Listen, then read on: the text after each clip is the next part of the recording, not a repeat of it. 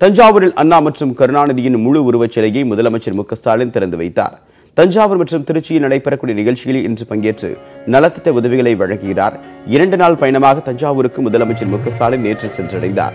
M. K. Moopanar சாலையில் உள்ள கலைஞர் அறிவாலய வளாகத்தில் முன்னாள் முதலமைச்சர்கள் அண்ணா கருணாநிதி ஆகியோரின் பதினோரு அடி உயரம் கொண்ட முழு உருவ சிலையை திறந்து வைத்தார். மேலும் வருகை பதிவேட்டில் கையெழுத்திட்டு கட்சி நிர்வாகிகளையும் சந்தித்தார். ¡Viva!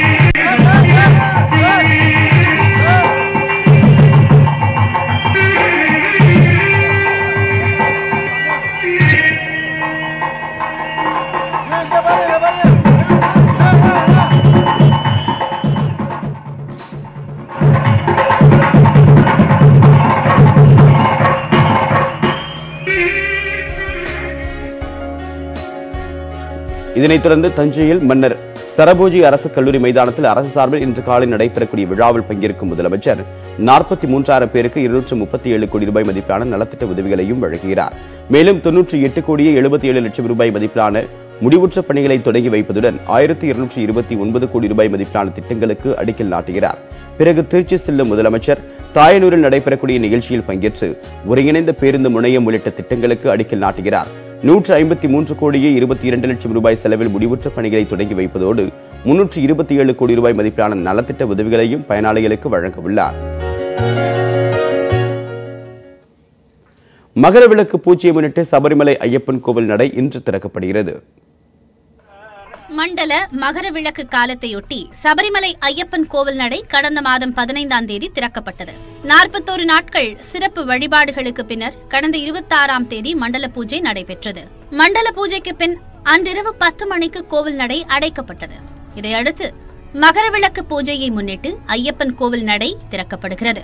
மாலை ஐந்து மணிக்கு தந்திரி கண்டரரு மகேஷ் மோகனரு முன்னிலையில் மேல்சாந்தி பரமேஸ்வரன் நம்பூதிரி நடையை திறந்து வைக்கிறார். நாளை முதல் பக்தர்கள் தரிசனத்திற்கு அனுமதிக்கப்படுவார்கள். முப்பத்தொன்றாம் தேதி முதல் எருமேலி பெருவழிப்பாதை வழியாகவும் சபரிமலைக்கு பக்தர்கள் அனுமதிக்கப்படுவார்கள். எருமேலியில் பக்தர்கள் உடனடி தரிசனத்திற்கு ஆன்லைன் மூலம் முன்பதிவு செய்ய வசதி செய்யப்பட்டுள்ளது. எருமேலி கோழிக்கடவிலிருந்து காலை ஐந்து முப்பது மணி முதல் பத்து முப்பது மணி வரையிலும் அழுதக்கடவு முக்குழியிலிருந்து காலை ஏழு மணி முதல் பகல் பன்னிரண்டு மணி வரையிலும் பக்தர்கள் அனுமதிக்கப்படுவார்கள். அம்பலப்புழை மற்றும் ஆலங்காடு ஐயப்ப பக்த குழுவினரின் எருமேலிப்பேட்டை துள்ளல் நிகழ்ச்சி ஜனவரி பதினோராம் தேதி நடைபெறுகிறது. மகர விளக்கு தினத்தில் ஐயப்பனுக்கு அணிவிக்கப்படும் திருவாபரணங்கள் பந்தளம் வலிய கோயிக்கல் சாஸ்தா கோவிலில் இருந்து பன்னிரெண்டாம் தேதி ஊர்வலமாக எடுத்து வரப்படும். பிரசித்தி பெற்ற மகர விளக்கு பூஜை மற்றும் மகர ஜோதி தரிசனம் ஜனவரி பதினான்காம் தேதி அன்று நடைபெறுகிறது. பக்தர்கள் தரிசனத்திற்கு வரும்போது இரண்டு டோஸ் தடுப்பூசி போட்டதற்கான சான்றிதழ் அல்லது எழுபத்தி இரண்டு மணி நேரத்திற்குள் எடுக்கப்பட்ட ஆர்டிபிசிஆர் நெகட்டிவ் சான்றிதழை கொண்டு வர வேண்டும் என திருவிதாங்கூர் தேவஸ்தானம் அறிவுறுத்தி இருக்கிறது மேலும் மண்டல பூஜை காலத்தில் பதினோரு லட்சம் பக்தர்கள் சாமி தரிசனம் செய்துள்ளதாகவும் எண்பத்தைந்து கோடி ரூபாய் கோவிலுக்கு வருவாய் கிடைத்துள்ளதாகவும் தேவஸ்தானம் தெரிவித்துள்ளது. தமிழகத்தில் கொரோனா பரவல் அதிகரித்திருக்கக்கூடிய நிலையில் ஒரே நாளில் எழுநூற்று முப்பத்தி ஒன்பது பேருக்கு நோய் தொற்று உறுதி செய்யப்பட்டுள்ளது. மேலும் ஒருவருக்கு ஒமைக்ரான் தொற்று கண்டறியப்பட்டதால் பாதிக்கப்பட்டோர் எண்ணிக்கை நாற்பத்தி ஆறாக அதிகரித்துள்ளது.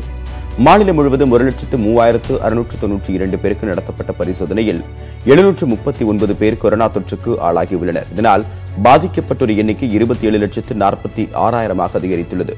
கொரோனாவால் ஒரே நாளில் எட்டு பேர் மரணமடைந்ததால் உயிரிழந்தோர் எண்ணிக்கை முப்பத்தி ஆறாயிரத்தி எழுநூற்று ஐம்பத்தி எட்டாக அதிகரித்துள்ளது. நோய் தொற்றிலிருந்து இருபத்தி நான்கு மணி நேரத்தில் அறுநூற்று பதினான்கு பேர் மீண்டதால் குணமடைந்தோர் எண்ணிக்கை இருபத்தி ஏழு லட்சத்து இரண்டாயிரத்து ஐநூற்று எண்பத்தி எட்டாக அதிகரித்துள்ளது. கொரோனாவால் பாதிக்கப்பட்டக்கூடிய ஆறாயிரத்து அறுநூற்று ஐம்பத்தி நான்கு பேருக்கு சிகிச்சை அளிக்கப்பட்டு வருகிறது. இதனிடையே மேலும் ஒருவருக்கு ஒமிக்ரான் தொற்று கண்டறியப்பட்டதால் பாதிக்கப்பட்டோர் எண்ணிக்கை நாற்பத்தி ஆறாக உயர்ந்துள்ளது.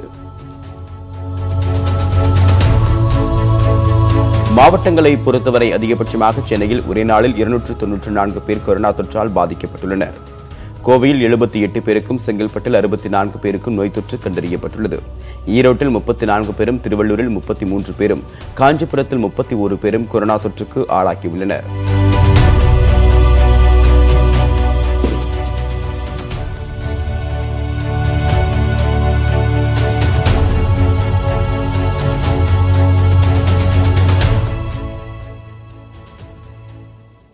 சென்னையில் ஆறு மாதங்களில் இல்லாத அளவுக்கு தினசரி கொரோனா பாதிப்பு அதிகரித்துள்ளது. நாள்தோறும் மேற்கொள்ளப்படக்கூடிய பரிசோதனைகளின் எண்ணிக்கையை இருபத்தி ஐந்தாயிரமாக அதிகரிக்க மாநகராட்சி ஆணையர் ககன்தீப் சிங் பேடி உத்தரவிட்டுள்ளார்.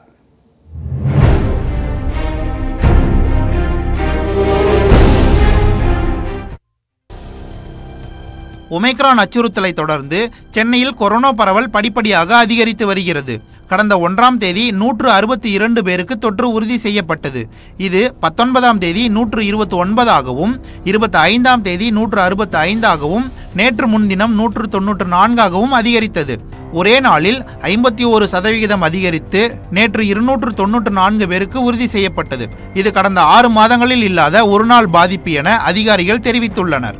மேலும் ஆக்சிஜன் வசதியுடன் சிகிச்சை தேவைப்படும் நோயாளிகளின் எண்ணிக்கை கடந்த ஒன்றாம் தேதி நூற்று அறுபத்தி இரண்டாக இருந்தது. இது நேற்று முன்தினம் முன்னூற்று ஐம்பதாகவும் நேற்று முன்னூற்று எழுபத்தி நான்காகவும் அதிகரித்துள்ளது. மாநிலம் முழுவதும் ஆயிரத்து இருநூற்று ஐம்பது பேருக்கு ஆக்சிஜன் உதவியுடன் சிகிச்சை அளிக்கப்படுகிறது. சென்னையில் நான்கு தெருக்களில் ஆறு முதல் பத்து பேர் வரை தொற்றாளர்கள் இருப்பது கண்டறியப்பட்டுள்ளது. இதையடுத்து அந்த தெருக்கள் நோய் கட்டுப்பாட்டு பகுதிகளாக அறிவிக்கப்பட்டுள்ளன. ஒட்டுமொத்தமாக ஐநூற்று ஏழு தெருக்களில் தொற்றாளர்கள் இருப்பது கண்டறியப்பட்டுள்ளது. இந்த மாத தொடக்கத்தில் தினசரி பத்தாயிரம் பரிசோதனைகள் மேற்கொள்ளப்பட்டன. கடந்த இரண்டு நாட்களுக்கு முன்பு பத்தொன்பதாயிரமாக இருந்ததாகவும் பின்னர் இருபத்தி இரண்டாயிரமாக அதிகரிக்கப்பட்டுள்ளது. இந்நிலையில் நோய் தடுப்பு நடவடிக்கைகள் குறித்து அதிகாரிகளுடன் மாநகராட்சி ஆணையர் ககன்தீப் சிங் பேடி நேற்று ஆலோசனை நடத்தினார். அப்போது அவர் தினசரி மேற்கொள்ளப்பட்டு வரும் ஆர்டிபிசிஆர் பரிசோதனை எண்ணிக்கையை இருபத்தி ஐந்தாயிரமாக அதிகரிக்க உத்தரவிட்டார். அரசு அலுவலகங்கள் தனியார் அலுவலகங்கள் மக்கள் அதிகம் கூடும் இடங்களில் ஆர்டிபிசிஆர் பரிசோதனைகளை மேற்கொண்டு அதன் அடிப்படையில் தீவிரமாக கண்காணிக்கவும் அவர் அறிவுறுத்தினார். கொரோனா உறுதி செய்யப்பட்டவர்களுக்கு முதல்கட்ட உடல் பரிசோதனை மேற்கொள்ளும் மையங்கள் பதினோரு இடங்களில் தற்போது செயல்படும் நிலையில் இதனை இன்று முதல் பதினைந்து மையங்களாக அதிகரிக்க உத்தரவிட்டார். முதல் கட்ட உடல் பரிசோதனை மையங்களுக்கு அழைத்துச் செல்வதற்கு மாநகராட்சி சார்பில் இயக்கப்படும் இருபத்தி நான்கு வாகனங்களை சரியான முறையில் பயன்படுத்த நடவடிக்கை எடுக்கவும் ககன்தீப் சிங் பேடி உத்தரவிட்டுள்ளார். கொரோனாவுக்கு சிகிச்சை அளிக்கும் நூற்று முப்பத்து நான்கு மருத்துவமனைகளிலிருந்து சிகிச்சை முடிந்து செல்லும் நபர்கள் மற்றும் அவர்களது உதவியாளர்கள் குறித்த விவரங்களை மாநகராட்சிக்கு தெரிவிக்க வேண்டும் என்றும் அறிவுறுத்தப்பட்டுள்ளது. தமிழகத்தில் இரண்டாவதாக ஒமைக்ரான் தொற்று உறுதி செய்யப்பட்ட நபர் சிகிச்சைக்கு பிறகு குணமடைந்து வீடு திரும்பியுள்ளார் அவருடன் நம்முடைய செய்தியாளர் சாரதா நடத்திய தொலைபேசி உரையாடலை தற்போது பார்க்கலாம். டூ டேஸ்ல வந்து த்ரோட் இன்ஃபெக்ஷன் மாதிரி இருந்துச்சு. அப்புறம் கோல்டு நெக்ஸ்ட் ஃபீவர் ஃபீவர் கொஞ்சம் hundred and two hundred hundred one degrees இருந்துச்சு. அப்புறம் normal basic medicines basic use பண்ண ஃபீவர் மெடிசன் பேராசிட்டமால் அப்புறம் one day after it subside subside ஆயிடுச்சு. அப்புறம் sample and after that only I got admitted அப்போ கூட இந்த ஃபீவர் ஃபீவர்லாம் குறைஞ்சு ஆக்சிஜன் லெவல்லாம் எப்படி இருந்துச்சு சார் உங்களுக்கும் உங்க family மெம்பர்ஸ்க்கும் oxygen normal ninety percent ninety nine கூட இருந்துச்சு. எல்லாருமே ரெண்டு டோஸ் வேக்சின் போட்டாங்களா சார் ஆமா ரெண்டு டோஸ் வேக்சின் போட்டுருக்காங்க.